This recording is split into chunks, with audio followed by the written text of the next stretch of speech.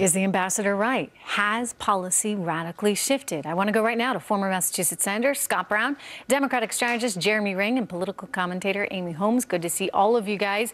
Senator Brown, first over to you. Um, is this a departure?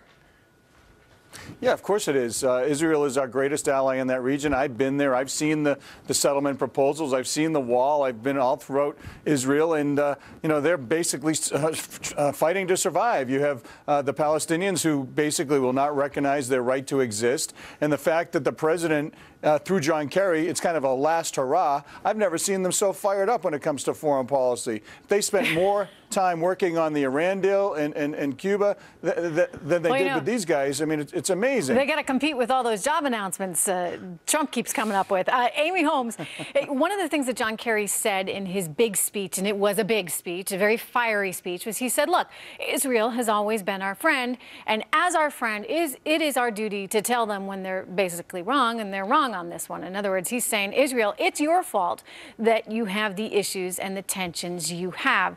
Uh, if Israel is our friend and has been our friend, uh, why, why are we suddenly turning our back on them now? Well, that's exactly right. And John Kerry can say that this is a hard truth, but he's actually not uh, the arbiter of what is true in the Israeli Palestinian conflict. And as the Israelis say, they don't need uh, foreign leaders to be telling them about their own national security interests. Uh, I would go back to what Senator Brown said. I, too, have been to Israel. I've toured it extensively. And, uh, you know, this is a country that has enemies on all sides. And in the West Bank, the Palestinians, they have vowed that there will not be a single Jew left in that region should they have this two state solution. I think uh, the other point that is absolutely correct is that this is a radical departure from uh, our foreign policy vis a vis Israel and the settlement issue. And this was with only three weeks to go left on this presidency and a new president coming in who's going to have a very different approach. Yeah, it, it's certainly making it more challenging, though, for the new president that's about to come in. Jeremy Ring, why did they wait until now? I mean, we uh, have certainly had some indications that the Obama administration has felt a lot of these tensions and, and felt as though they wanted to say a lot of these things earlier on, but they waited until the, the final moments. Well, there's a few things, Trish. Thank you. Um, first, they've hinted at this. They had a 2011 draft resolution uh, that they um, uh, that they voted against. But that being said, I think it's disingenuous to say that this is a different strategy. They continue to keep their two straight two-state strategy.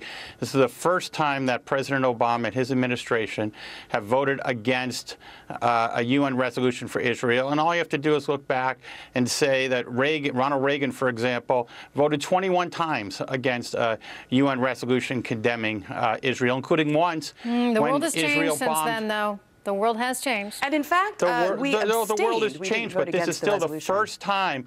This is the first time. No, we abstained. Tr true. This is the first time in Obama's administration. If you were to look back since 1967, you have five Republican presidents who have voted uh, against uh, resolutions that condemned Israel 53 times versus Democratic presidents who voted against resolutions condemning Israel 25 times. And now we have an administration who abstained from voting against resolutions. That is why it's a departure. And I would also point out that the administration didn't even try to get support uh, among congressmen and senators. And Senator Chuck Schumer from here in New York, he's the minority leader in the Senate, he's come out very strongly against this. And he points out oh. it's actually going to make it more difficult for a two-state solution to actually uh, happen. You know, look, look, I mean, the Democratic Party certainly just continues to alienate people here. We talked about how they alienated blue-collar workers, a lot of Jewish Jewish Americans feeling like they've been deserted by President Obama. Anyway, go ahead, Senator Brown. What is it?